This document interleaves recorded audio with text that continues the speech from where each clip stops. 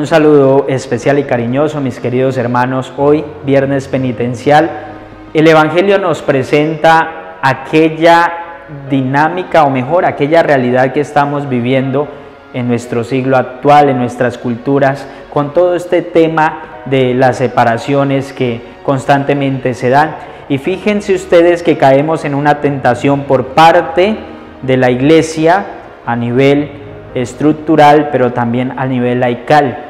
En la iglesia no hay separación de matrimonios, eso es fundamental que lo tengamos muy presente, pero sí hay nulidades matrimoniales. Y por eso frente a la nulidad matrimonial debemos tener una gran delicadeza, un gran cuidado para no ser laxos en los procesos hay consecuencias que debemos aprender a asumir en la vida. Y por eso cuando vamos a dar un paso tan definitivo de comprometerme hasta la muerte con un proyecto de vida acompañado de otra persona, debe estar sostenido y asegurado por el amor. Un amor que no puede ser de aquí del sentimiento, sino que tiene que ser un amor integral porque el amor que está cimentado en un sentimiento, los sentimientos se alteran y a veces fácilmente pasan. Pero cuando un amor está cimentado sobre convicciones, sobre principios, sobre valores, este amor perdura, más si se alimenta de la gracia y del amor de Dios. El que pueda con esto,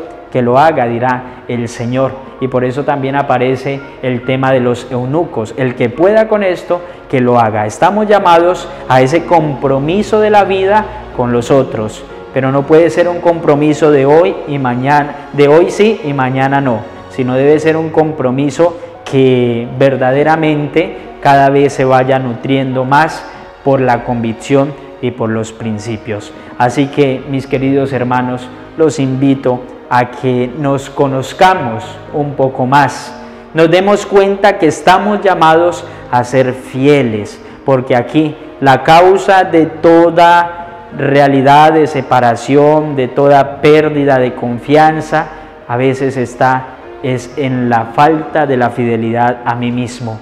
Y recuerdo en este momento aquella frase del principito donde dice, te deseo fiel porque la fidelidad es ser fiel a uno mismo.